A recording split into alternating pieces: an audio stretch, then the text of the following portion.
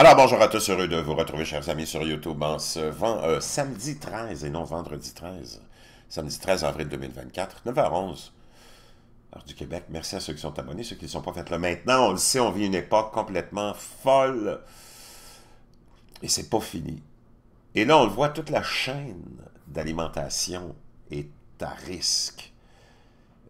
Accident après accident, catastrophe après catastrophe, maladie après maladie, épidémie après épidémie. Là, on a une épidémie euh, de grippe aviaire qui vient de commencer chez les bovins et les vaches laitières aux États-Unis. On voit toutes les révoltes euh, des euh, agriculteurs en Europe. Le plan de la gang à Klaus appelons-les comme ça, qui inclut l'ONU puis qui inclut Guterres, une marionnette d'une insignifiance incroyable, et toutes les autres bozos le clown, qui font partie de ce cirque médiatique et hollywoodien avec des... C'est incroyable.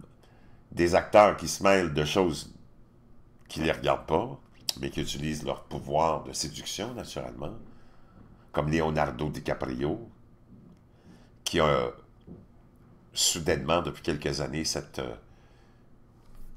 hein, euh, intérêt pour les changements climatiques, mais qui a un intérêt aussi pour les jeunes filles. Lui, aime les jeunes filles, il les aime très jeunes.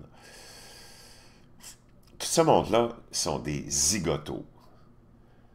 Pendant ce temps-là, on est, on le voit, l'inflation nous met euh, presque dans des choix qui sont déchirants pour plusieurs familles. Qu'est-ce que je fais? J'habille mes enfants, je nourris mes enfants, je paye le loyer ou je nourris le monde. Et là, les agriculteurs en Hollande ont, réagi, partout ont réagi. Une chance que ces gens-là sont là sur le front. Euh, je pense qu'en Hollande, on a réussi euh, à faire élire plusieurs députés. Plusieurs députés qui euh, représentent les agriculteurs on est, les agriculteurs sont sous attaque, plusieurs, plusieurs, toutes les, les, euh, le système alimentaire est sous attaque de cette élite complètement satanique qui ont des produits à nous vendre, que ce soit des Jeff Bezos, des Bill Gates et tous les autres bozos le clown, comme Al Gore, c'est pas qu'ils veulent nourrir le monde gratuitement, c'est qu'eux autres, ils veulent prendre la place puis ils veulent vendre leur bullshit. La lutte qui se déroule aux Pays-Bas semble faire partie d'un jeu beaucoup plus vaste visant à réinitialiser le système alimentaire international. Des mesures similaires sont actuellement introduites ou envisagées dans plusieurs autres pays européens, notamment en Belgique, en Allemagne, en Irlande et en Grande-Bretagne, où le gouvernement encourage les agriculteurs traditionnels à quitter le secteur afin de libérer des terres pour de nouveaux agriculteurs durables. En tant que deuxième contributeur aux émissions de gaz à effet de serre après le secteur de l'énergie, l'agriculture s'est naturellement retrouvée dans la ligne de mire des défenseurs du net zéro, c'est-à-dire de pratiquement toutes les grandes organisations internationales et mondiales de la gang à Klaus Schwab. Complètement, complètement hallucinant. Cette question est désormais placée en tête de l'agenda mondial. La réunion du G20 de novembre dernier à Bali a appelé à une transformation accélérée vers une, vers une agriculture des systèmes alimentaires et des chaînes d'approvisionnement durables et résilients pour garantir que les systèmes alimentaires contribuent mieux à l'adaptation et l'atténuation du changement climatique pendant que ce monde-là se promène en Hummer, en Mercedes, en Jaguar, en bateau, en avion, en jet privé. C'est complètement, complètement hypocrite. Ces gens-là sont... Je ne sais pas s'il y a du monde qui prenne encore ce monde-là au sérieux. Vraiment?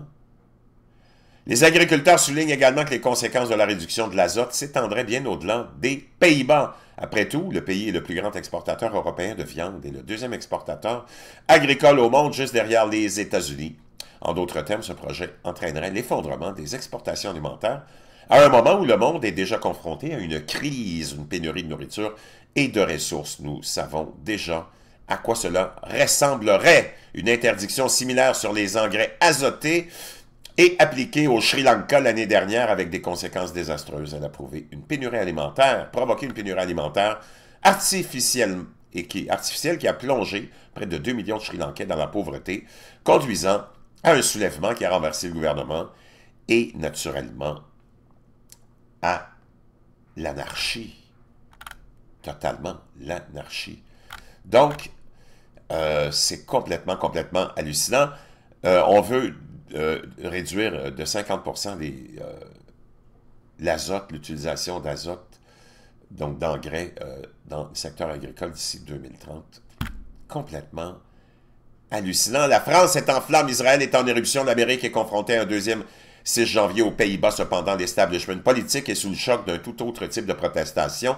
Une protestation qui, peut-être, plus que tout autre qui fait rage aujourd'hui, menace de déstabiliser l'ordre mondial. La victoire du mouvement paysan citoyen, le BBB, aux récentes élections provinciales, représente un résultat extraordinaire pour un parti contestataire fondé il y a plus de, un peu plus de trois ans, mais là encore, ce ne sont pas des temps ordinaires. Donc, ça s'organise, ça s'organise, ça s'organise. On nous rapporte qu'on a détecté chez des vaches laitières, dans un septième État aux États-Unis, la fameuse grippe aviaire qui présente un risque faible apparemment pour la santé humaine, mais ça va donner un bon prétexte pour éliminer, éliminer, éliminer, éliminer du bétail et du bétail pour provoquer encore plus de pénurie. Pendant ce temps-là, un législateur, un élu au Congrès, américain a soulevé une nouvelle polémique sur une recherche en virologie financée par les États-Unis, l'Angleterre et la Chine, et ça a lieu, je pense, en Angleterre, ces recherches-là, et les critiques qualifient ça de risqué. Les prétendues expériences de gain de fonction, comme on a eu avec euh, la COVID, qui ont été des, euh, des, études faites et financées aussi par, conjointement, euh, Barack Obama, le gouvernement américain de Barack Obama et la Chine, et qu'on a nié pendant longtemps, mais qui ont été exposés et exposés comme vrais et véridiques, sur euh, le, les euh, coronavirus, ben là, maintenant, on est en train de faire la même chose sur la grippe aviaire.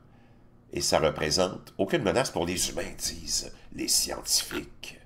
Mais tu pourrais te retrouver avec une autre pandémie qui toucherait les troupeaux, les animaux de ferme, et tu te retrouverais avec la Beyond Meat Sausage de Al Gore, les viandes artificielles de Jeff Bezos et les viandes artificielles de Bill Gates.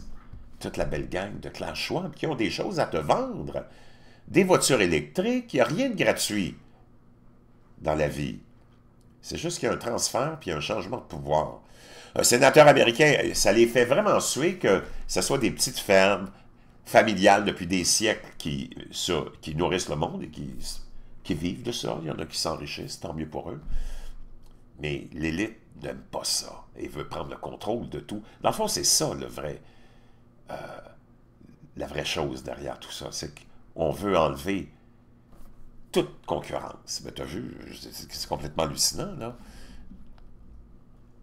Complètement hallucinant. Aux États-Unis, 5500 magasins ont fermé en seulement un an. C'est tous des petits magasins qui ferment.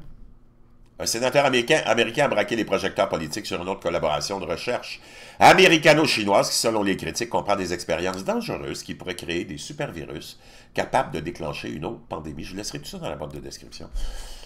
C'est tout ça qui se passe en ce moment. Je pense qu'il faudrait qu'on soit conscient qu'on est en train de vraiment... On n'a aucun contrôle. On, fait, on est tout à la merci de ces gens-là. À moins de s'organiser puis de provoquer comme les agriculteurs le font, un gros clash. Mais nous autres, la population, il faut qu'on se réveille. Les agriculteurs sont réveillés, mais nous autres, il va falloir qu'on se réveille aussi. Est-ce qu'on veut se réveiller ou on est trop préoccupé à juste manger, pas être dérangé, boire du vin, fumer un joint, se faire tatouer, avoir un autre piercing? Je ne sais pas. Mais il va falloir qu'on se réveille. Sinon, il ne faudra pas se plaindre.